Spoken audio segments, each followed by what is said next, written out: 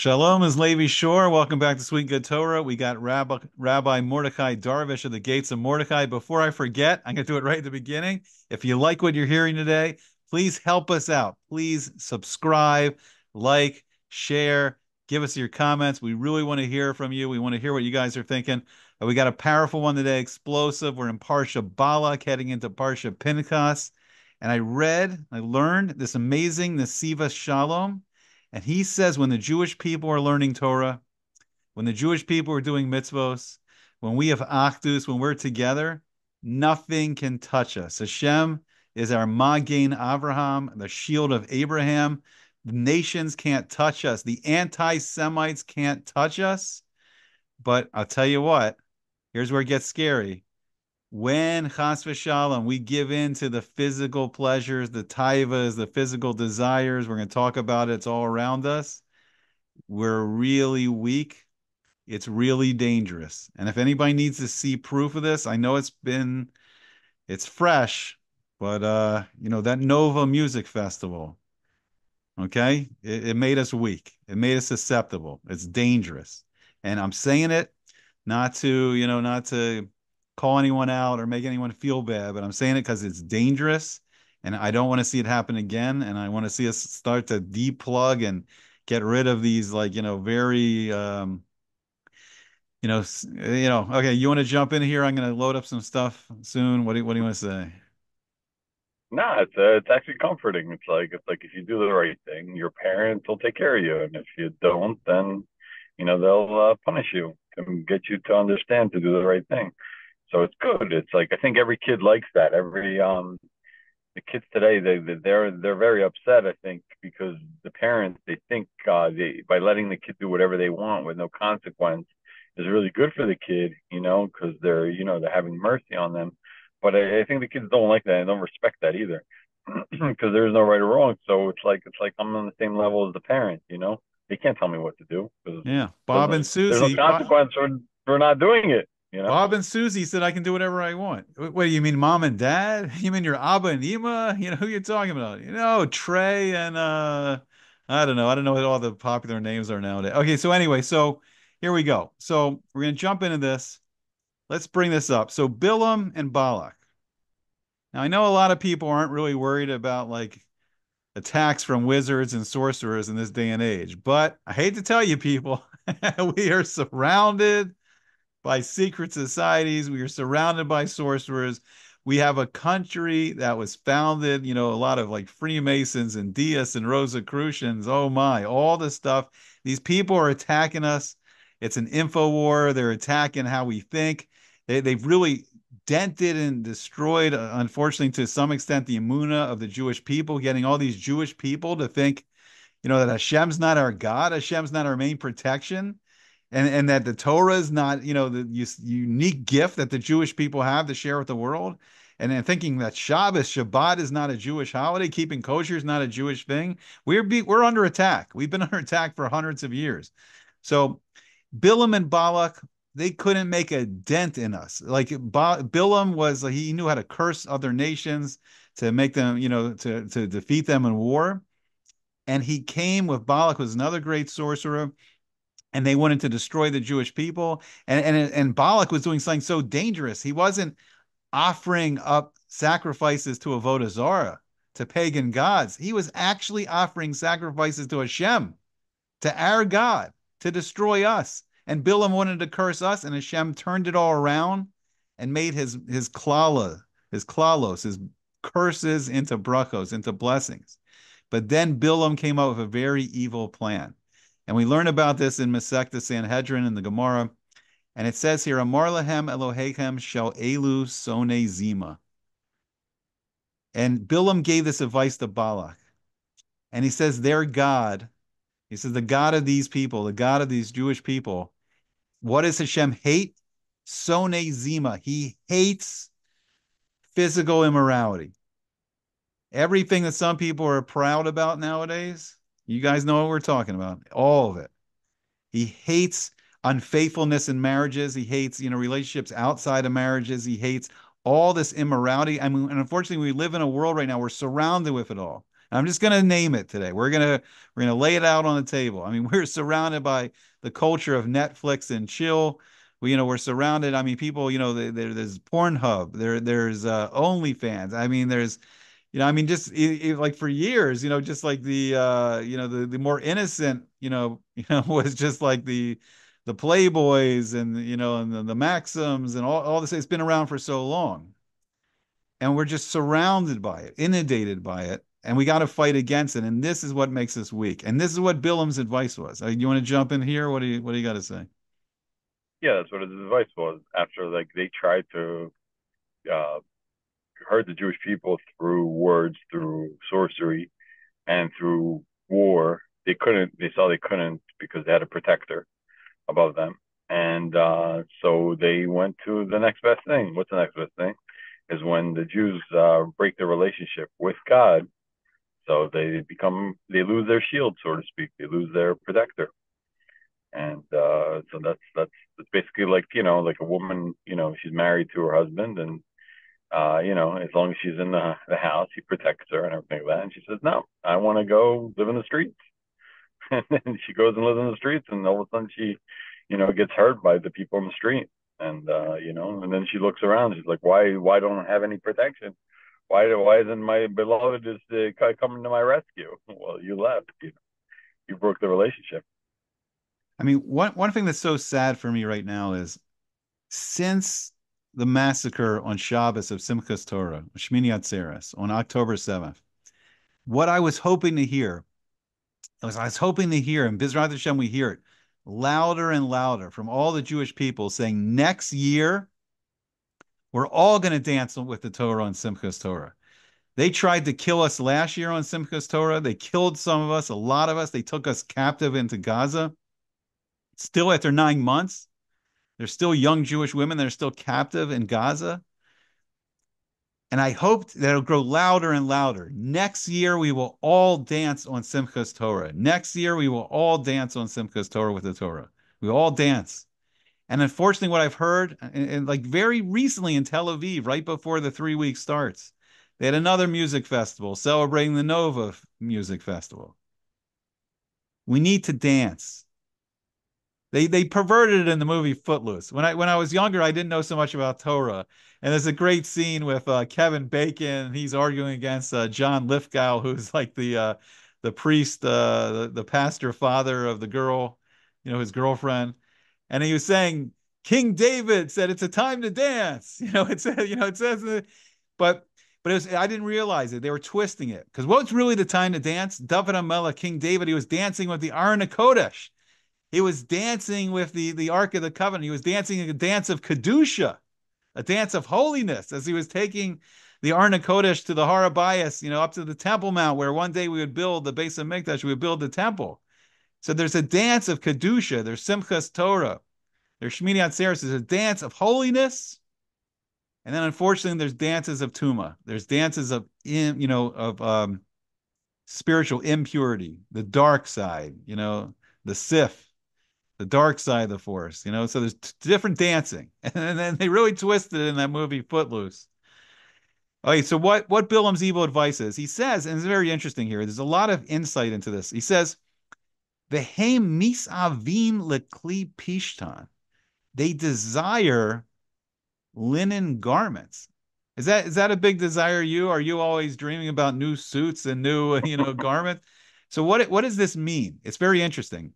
We were coming out of the midbar for 40 years. We had this miraculous existence. We had a miraculous existence. Hashem, like, you know, we, we ate a, a, a bread from heaven, the man, the manna. We were drinking out of the Be'er Miriam, Miriam's well, this miraculous well giving water, water out of the rock. We, we had we were protected by the Ananei HaKavod, the clouds of glory. We were in a supernatural existence for 40 years, but now we are going back to the physical world. We are going to enter Eretz Israel, the land of Israel, with Yeshua ben Nun and we're going back to the physical world. And now the physical desires were returning, and Bilam knew this. We are going to need new clothes. And what and what's really the what's the root? What's the root of all fashion, right? What's the root? What's the you know billions, trillions? who knows how much they spend on fashion, you know, on clothes? But what's the root of it? What's the really desire of it? We want to look good. Why do we want to look good? You know, so in a in a level of kedusha, we want to look good so we can attract, you know, a, a shidduch. We can, you know, we can we can meet, you know, a you know a woman to marry. But there's also fashion that's used for once again for tuma. Like people want to dress good, look wealthy, look good, look sharp, because they want it for physical immorality. And that's what Bilam was saying here. They're going to need clothes because they're going into Israel, and they're going to have a desire, a taiva for clothes, and use that desire to twist it. Not, you know, not looking for for shidduchim, not looking, you know, for marriage, but maybe maybe can seduce them into looking for something else. And then this was the advice. So he said that you can you're going to make hangings so they won't be able to see what's going on inside and you're going to put Hoshiv behen zonos zonos you're going to put you know ladies of the night prostitutes you know we're just going to call it what it is today we're going to put them inside and we're going to make it look innocent we're going to put old woman on the an old old women on the outside and make it look innocent oh it's very it's a family you know it's a family run uh, store as they say you know, we're going to give you clothes for your shidduchim, and it's going to look innocent, but inside, they're going to they're going to try to get people to go inside with the young women inside, the beautiful young women inside the the Benos Moab, and seduce them with the taiva, with the physical taivas. Uh, you want to jump in here, or? Um, yeah, no. Inside, inside, what they found was these women, you know, um, that uh, gave them some wine to drink. The, the Yerushalmi says they give them some wine to drink. And once they had a few glasses of wine, and then they started, uh, you know, asking them to be uh, a little promiscuous with them. And then they said, uh, well, if you want to do that, first you got to bow down to our idols. And uh, they said, well, I'm not buying down. I'm not bowing down to no idol. And um, they said, no, it's not a problem. All you have to do is defecate in front of it. Um, and they're like, oh, all I have to do is defecate? Yeah, defecate. So uh, they defecated actually what they they, they gave them like these cakes to eat, um, and uh, they, they they would eat the cakes and uh, make them defecate even more. So um, like if that's all I need to do, you know, they they, they did it happily, um, and then so it caused them to bow down to idols, and that that was the way of worshiping it by defecating in front of it, and then they became promiscuous with those women. So that led to 24,000 people getting killed. Right. Whereas I think only 3,000. Yeah. Why? I think it was a plague, you know, so only I think 3,000 people died um, because of the Chet HaEgel, the golden calf. And here, to show how dangerous this is, you know, in the physical immorality, 24,000 died in a plague, right? So we'll go through this quickly. Right, you reference, we're going to bring up that midrash that you're talking about, and we'll go into it more. But here, so so this is Bilam, Bilam's advice. So Balak made he made the hangings from the snow mountain from the Hermon until the Beit Yeshimos, and he sat the zonas, the, the prostitutes inside, and the old women on the outside, and the young women on the inside. And at the time when the Jewish people were eating and drinking, and were glad and going out to stroll in the marketplace, the old women they would say to a Jewish person, they say, "Aren't you seeking linen, gar- linen garments?" So he would enter and he'd ask the price, and the old woman would quote him a price equal to its value. But the young women would say that they would quote him a price less. They would give, you know, I want to make a bad joke here, but yeah, discount for you. I want to make a big, I want to make a joke here, but there's another taiva. You know, Jewish people, you know, when they see a good sale price, I know it's like a lot of anti-Semites say it, but you know, you give a Jew a good sale price, and it's a it's a horrible taiva also you know, and, and then the young women were drawing him inside, a good price, you know, good price on the clothing. And they would do this a couple times. And then after she would say to him, she said, You're like, you know, you're like a member of our family. You know, choose for yourself whatever, you know, we're alike, you know, we're all family. Choose whatever you want, whatever merchandise you want. She'd bring out a jug of the wine of Ammon and place it. And, and Ammon, what was that famous for? Where did the nation of Ammon come from? the daughters of Lot, when they fought that the world was destroyed, they gave their father Lot, they gave him wine to drink, and then both daughters, you know, had relations with the father with Lot, and then that's the nations of Moab and Ammon. And so she gave, you know, wine from Ammon and placed it near her, and we're all family, you know, and the uh, the the wine of the Ammon. It's, just this is not, you know, this is not yayin nesech. This is not prohibited to you. You know, this is is kosher. This is kosher wine. And if you want to drink a cup of wine, and then once you drank the wine, then the Yetzer Hara started. Then the Yetzer Hara started to burn. You know, you drink too much, and you know it's uh, it can get dangerous. And then he, he then he said he said to her he said uh, you know you know have relations with me, submit to me. And then she took out the idol and she worshipped it from her lap, and she said, "Worship this." And he said to her, "says Am I not Jewish?" Now think about this. This is the guy that's drunk. He's about to engage in znus, you know, in zima, and like, you know, like, you know, but but this is farther. This is the farther step.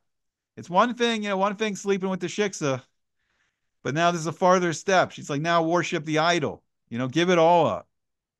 And he's like, Am I not Jewish? And she said to him, saying, What is your concern? We are asking you nothing more than to poop, as you were saying, poop in its presence but he does not know that he didn't know that that's how they worshipped it. And we'll talk about it. What it seems so weird. Who worships an idol by pooping in front of it? And he says, I will not leave until you deny the Torah of Moshe Rabbeinu, the Torah of Moses, your teacher.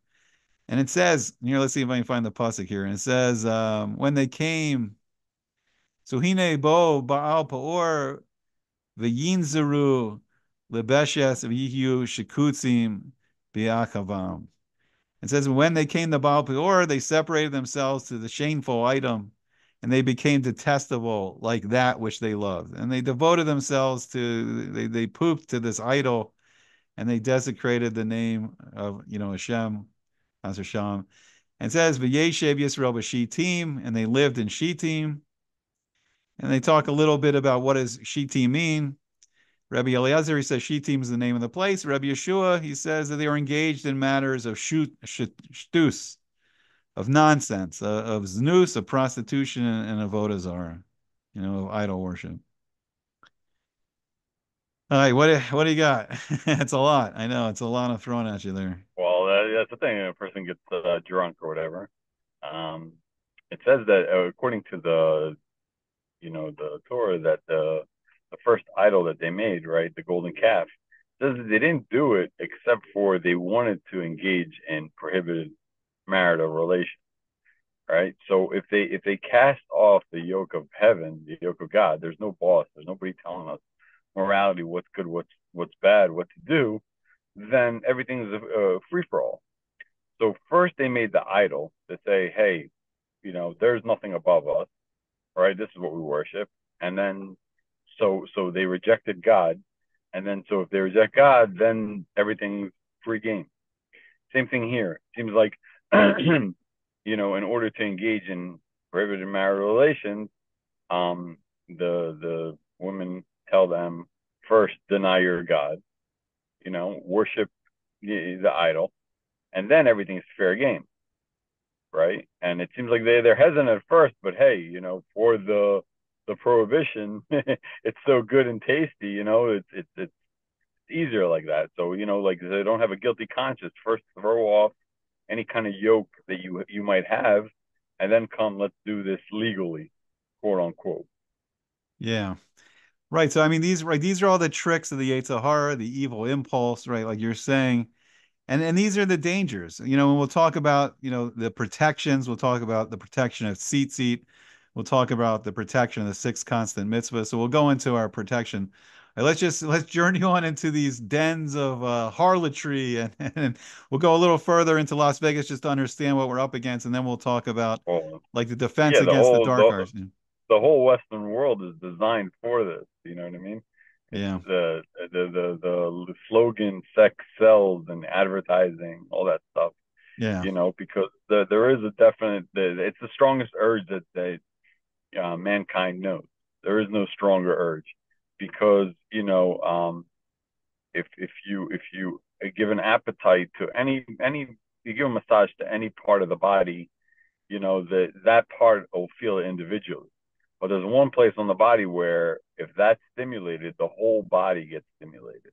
Yeah. And so and so it's it's it's the most powerful thing that there is. and so people are naturally drawn to it more than any other thing in the world. Yeah. You know, um, without going into like the real secrets of what happened in the Garden of Eden, yeah. but that was the original sin in its in its covered up sense. I'm not going to go right, right. Totally so right, so right. This, so this is right. This is what in in a sense, right? You're saying it's the original, the Chet of Adam HaRishon, the, the sin of A- Adam, the first man, right? This is what has brought death into the world. This is what's brought, you know, sickness and illness into the world, and this is really the root. It's the root of all evil, really. It's the, this is the root. Like, so we'll go into a little more but yeah, but you're, you're what you're saying is true. Like we like we live in a world where you know you know you hear you know people have like oh whatever happens in Vegas stays in Vegas. Like we're surrounded by it. We're surrounded by this attitude. We're surrounded by you know like people trying to make it look all you know tempting and that it's not a destructive thing. And, and it's destroyed people. It, it it's really it's a very dangerous thing, you know. So, I so the Gemara goes on here, and we'll, we'll go into the protection. So it says, uh, "V'tik rena le'am um, lezivche Elohechem," and they called v'tik rena, and they called to the people to the offerings of their gods. These are offering to like you know. So Rabbi Eliezer, he says, uh, Rabbi Lazar, they say Eliezer, I think it's Rabbi Lazar, Omer, arumos pigo behem that they they encountered a rumos. They encountered women without any clothes. And Rebbe Yeshua Omer Shinaasu Kulan Bale Kareem. Like they they became like people experience, you know, like uh, Zera Livatala. They the, when a when a man gives up his seed because of the lust, you know, because of the lust experience. So so so and this, and this what as you're saying before, like this is the original, you know, you know, hate uh, Adam HaRishon so what's what's the proper right? What's the proper way, and why and why is this taiva so dangerous? Why why is there such a strong drive for physical you know relations? And and it's interesting in the Gemara and elsewhere it says like they destroyed uh, the the Rebbeim. I think it was during the times of the Tanaim they they they they destroyed the Yetzer Hara for idol worship, and we see here also a strong desire for idol worship because then it's like you're throwing away everything, you're throwing away all reality, anything goes.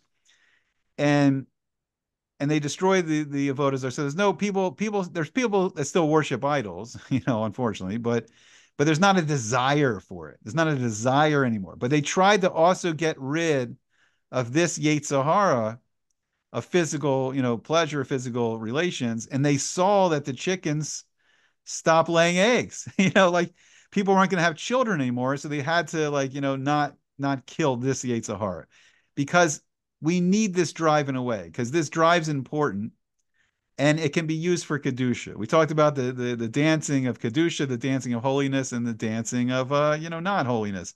But people have relations. You know, if you have kedushin, you know, when a man and a woman, when a chassan and kala are married, and then the zera, the seed, it can it can be used in holiness, and it can bring bring children into the world. It can bring the greatest miracle that most people experience, children into the world or it can be misused where this the, the zera is just wasted. So it's it's powerful and it's important. You know, and we need, you know, we need, you know, we need more generations. You know, the world can't stop. So it's very powerful, but it, it's something we need. What uh what do you want to say on all this? Yeah. I mean, if everybody did what the other side wanted, then there'd be no continuation and society would die off, the world would die off within a few generations. But if everybody kept it holy, oh, I lost I lost your audio there. Okay, so while while we're trying to get your audio back, I'm going to bring up the uh, the six constant mitzvahs here. Let me share this here. So we're going to start talking about the defense against the dark arts, the defense against the um, you know these phys- the physical desires, and what protects us. We're talking about. Uh, I think I got your sound back. Okay. So here, here, so it's interesting. So me and uh, Rabbi Darvish, we actually we were roommates at uh, Aish HaTorah, the yeshiva in uh, the old city of Jerusalem. So here we're going back to our roots here a little bit. We got uh, from Aish.com, and we'll talk about real quick. So one very powerful mitzvah that we have to fight against the um, the Yetzer Hara is um, is tzitzit when you look at the tzitzit, when you look at the uh, the strings, uh, you know, of, of the tzitzit, the mitzvah, the tzitzit, and we'll talk about the six constant mitzvah here, how it's related to that. But that's great protection against the Yetzer Hara. And it's great protection against this, um, you know, this Avera. This, do we have your sound back? Are you back or? Uh, can you hear me? I hear you. Okay, good. Okay. So so we're gonna talk about these six constant mitzvahs, and these are great defense against falling into this immorality and great defense against the surroundings that we live in. So the first the first of the constant mitzvahs is know there's a God. Know that there's only Hashem. Know that there's an infinite being. If you know that there's a God, what how's that? What do you, what do you think? Like how's that giving us great protection? That mitzvah. How it protects a person? Yeah. Well, if not, it's not enough to know that there is a God. It's to know God. Like Mm. we, we, we, the problem is nobody defines the word God, and so everybody's left to their imagination. Um, but to know that um, that there is only one power in the world, which we call the Ein Sof, the one without end, and if he's, you know, it is without end, then that means it is everywhere. And to know that it is everywhere is a powerful thing because if it's everywhere, then I have to act correctly everywhere. As if there's a camera on me at all times, as if there's an officer waiting for me at the stop sign or at the stop light. I Yeah. can't just run it. I can't just do whatever I want. So obviously, it's a it's a very powerful thing to know, um, and and and it'll, it'll keep you in line. It keeps a person in line when to know they're always being watched, and even in their thoughts, their their speech, their uh, their actions, everything is being monitored. You Yeah. know, so um, you know, society's kind of trying to get get get to that point with all the cameras around us all the time, and our phones, and like the Alexas in the homes, and and everything like that. Now they're trying to go under the skin, actually, you know, and uh, implant stuff in our brains and our, you know our skin to to actually monitor what's going on on the inside. Yeah. So really so know what uh, what God's job is. Okay, so we'll get to number two. So that's going to be a good segue to number two. So I just want to add this real quick. So, right, Hashem is the Melech Haolam, the King of the universe, this infinite being, and He's given the Torah to all mankind, and that's Hashem's laws. That's the laws of the King. There are laws. There's things you can do, and there's things you can't do. There's things that are tov, there's things that are good, and there's things that are ra, that are evil. So when people like we saw like what they're what they were trying to do, Bilam's evil advice and what the Zona was trying to do is no, forget it all. Just if you poop in front of the idol, you're letting it all hang out. There, you know, nothing's wrong. Everything, everything's good, man. You know, free love. You know, you know, everything's good and groovy, man. You know, it's like, all right, so so that's number so number one is our first, it's our first um, you know, shield. You know, when we know that Hashem exists, there's laws, there's mitzvahs aseh, positive mitzvahs, mitzvahs lo taseh you know, mitzvahs, you know, negative mitzvahs, don't do these things. So we know there's good and evil. Okay, so here's the one I think a lot of people, this is great protection. And I think a lot of people are falling in the trap, but this is actually idol worship, avodah zarah. Don't believe there's any other power besides Hashem. And I think you were starting to go into this somewhat. Like, like what I what I see is we live in a day of like people are worshiping the golden donkey. People worship the Democrats. The Democrats are going to save them people worship the golden Trump. Trump's going to save them, right? Yeah, yeah, Trump's going to save them. And and like eh, eh, one of the funniest things to me is like the the people with all the conspiracy theories have been saying for decades they're they're they're freaked out about people putting you know like the chips in their arms and on their forehead. And some of the people on the right think that Elon Musk is their savior. And he's the guy that has a company Neuralink that's actually starting to put chips into people. you know, it's like these people are not coming to save you. I mean, I, am sorry if you if you're on the right or left or whatever politician, the politicians are not coming to save you. We're down to our 10 minute uh, warning here. But what, what do you what do you want to say on this? Like, I'm not fazed by the 10 minute warning. That's what I gotta say. Um, but uh, yeah, just don't believe in any other power because if you do, then there's there's two masters. If there's two masters, and there's two sets of rules, and and you you start going down, you know, some other track that's incorrect. Yeah. Right, so the next, the third of the, the six kinds of mitzvahs is like Hashem is one. And this is important. A lot of people get confused about this one. There's only one God. There's one infinite being. And there's, you know, a lot of people like to divide God up into three parts or multiple parts or two parts, but it, it, it like Shema Yisrael, Hashem Elo, Hashem Elokeinu, Hashem Echad. It's so important. That's a mitzvah right there. The Shema is so important. And in the Shema, we see the protection of the tzitzit in the third paragraph. But what's so important is that there's only one infinite being. There's not two sets of laws. There's not two sets of instructions. There's only the Torah. And these other people that have created their own Torahs and, and non-Torahs and atheists like fantasies, you know, the, you know, the, there's only one God and you can't divide God up into parts. God doesn't have two opinions. You know, there's only one, there's only one opinion. One Torah, one people. And that's and that's important. That's protection. That's a great protection. Yeah, there's no uh, he doesn't have parts. That's that's the that's the biggest part of it is that he's one continuous entity, the unity of God. That means uh, he's in all places at all times, you know, um, seeing, hearing, knowing. There's not nothing that's outside his realm. And um, so so we'll go to number four. So right, there's a mitzvah to love Hashem.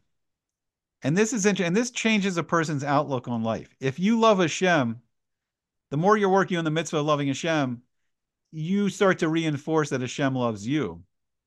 And you start to see more of all the good that Hashem's doing for you. And then this is a great protection because if you love Hashem, you don't want to let him down. Like when you love your parents, you want your parents' approval. You want your parents to love you. You don't, you want to do what your parents say to do. And loving the mitzvah of loving Hashem, we're, we're less likely to fall into the temptation uh, uh, you know, of Avera because we love Hashem. And, you know, and, and, this is a great level. When, when someone loves Hashem, they don't want to let him down. They want to follow his mitzvahs. They want to do what he says, and they want to have a close relationship with Hashem. Yep. When you love something, you want to like feed it, or especially if it's a living entity, you want to do stuff that's pleasing to it. You know, you want to ingratiate yourself, so to speak, onto that thing that you love. All right, so then we'll go we go to number five here. So this is a tricky one. So fear. So this is what interesting. You were talking about this before. We, we you know you had like the surveillance state. but but there's even though like there's a bunch of like yahoos just watching it in like DC or whatever, watching all the surveillance of everybody. But the truth is, it can awaken a real year yiras Hashem, because like eh, we we mainly talk about this, you know, you know, in Elul heading up to Rosh Hashanah that Hashem has you know, the book of life and the book of death, you know, and we want to be engraved in the book of life. And there's midrashim that say that, you know, when a person dies and their soul stands before the Kisei Kavod, before Hashem's throne of glory, there's movies of his whole life that are played back to them. And either he's going to feel proud of all the good and the mitzvahs he's done in this life, or he's going to be embarrassed of all the averas, of a sin a person's done in this life. But a person's going to have to honestly take a look at their own life and they're going to have to see how, how, did I live. So when we have a yiras Hashem, when we're afraid, I mean, sometimes the fear of a parent, the fear of a teacher, the fear of even the government, like the fear of, like if we're worried about the government, you know, looking at what we're doing on the computer, or doing in our houses, or doing at work, or doing out in public, Hashem is sees it all. He sees more than they see. Understands to the bottom of our hearts why we're doing it all but sees it all and everything's being recorded. Yeah. Um, you have some kind of authority, you know, like you're not the boss of your God. you know, some people like I like to think that, you know, that they they decide what, you know, the law should be or you know, they're the authority, the ultimate authority. Or they, they're just like, oh, God loves me. God, it's all good. It's all fine. It's all it's it's it's okay. He understands me and all that stuff. And then it's like it's like all all, all they see is the positive, but they don't they don't think that there can be a negative. Right? They, they don't fear, so to speak, quote unquote, the negative or the negative consequence of doing the negative. And that's that's that that fosters an unhealthy relationship. It's like someone cheating, you know, it doesn't fear that that something uh, that that will impact negatively on his relationship with his wife Mm-hmm. Yeah, no. So I mean, a yira can be a great protection. It can be an excellent. And then finally, the, the number six. So lo, you know, lo sasuru acharei levavchem v'acharei eineichem. And now we this is actually tied in with the Shema. We talked about the mitzvah, the Shema. We talked about the mitzvah, the tzitzit. So the tzitzit, when we look at the tzitzit, it can teach us not to go after our hearts and our eyes. This is where we really run into trouble. You get that you know, you get that desire, you know, physical desires. People have thoughts run through their heads of, you know, like these physical desires. And then what we talked about before, it's all over the internet, it's all over billboards, it's all over, it's in front of your face sometimes.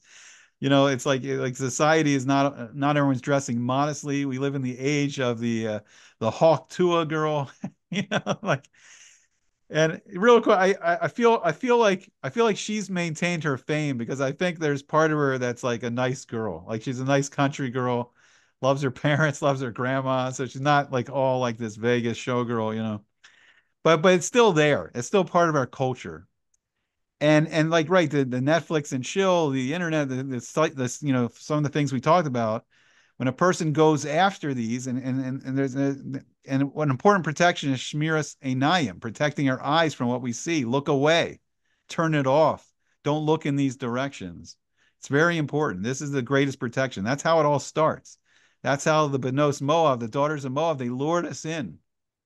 You know, they lured us in, and then when you see, then the desire becomes, you know, too much sometimes. All right, what we're we're we're at like under three minutes now. So under three minutes. Here we go. I'm not fazed. I'm cool under pressure. All right, cool. Okay. yes, don't go after like your lower your animal your animal instincts basically, which is your heart and your eyes, because they they you know they feed they feed your animal instincts. So if you're if you you know obviously you could be attracted by them, but like don't keep going after them. Like go to tour, like don't go down that path. Like you'll get the bad thoughts, push it out of your head you'll see the bad thing, look away. You know, and then you could you could stay on the path. But if you don't, you start going down that path, then it's a very slippery slope and it's uh it's hard to uh climb that mountain when uh you know you're slipping down it. Yeah. Yeah, plan your next trip for the beis midrash, for sitting in the yeshiva, learning Torah. Open up Torah book, learn with a friend, listen to Torah videos. I mean, Torah is what's going to save us. Torah we're protected from the anti Semites. We're not going to have another October 7th when the Jewish people are waking up and wanting Hashem's protection, using things like the six constant mitzvahs, the mitzvah of Shema, the mitzvah of tzitzit, like all these mitzvahs Hashem's given us as our protection.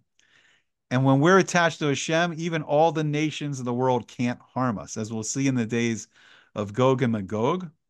And we're going to talk about a part two that Hashem is sending us our greatest allies in this war. He's going to send us the experts in this department. He's going to send us Eliyahu Hanavi, who is Pinchas, who fights against this immorality, as we're going to see in a part two video. He's going to send us Mashiach ben Yosef, who's descended from Yosef HaTzadik, who you know resisted the temptations of Potiphar's wife. He's going to send us Mashiach ben David, who fought against these desires, you know, from coming from all sides. And we'll talk about the famous story of, of David and Bathsheba, David and Bathsheba. All right, one, one minute, under a minute. minute. Wrap it go. up, mate. Wrap it up. Just tell everybody subscribe, like, share, whether you like it or whether you don't like it. we always we always between us have a little uh, contest whether whether we believe the video will do well or won't do well. You know, uh, Levy's the the ultimate optimist. I'm the ultimate pessimist. Uh, so uh, let us know what you think. Whether you think the video will do good or won't do good. If you're still watching at this point. All right, Bezrat Hashem, we're going viral, but a viral of Kedusha, a virus of Kedusha, Bezrat Hashem. All right, we hope to see you all back soon on Sweet Good Torah and the Gates of Mordecai. All the best.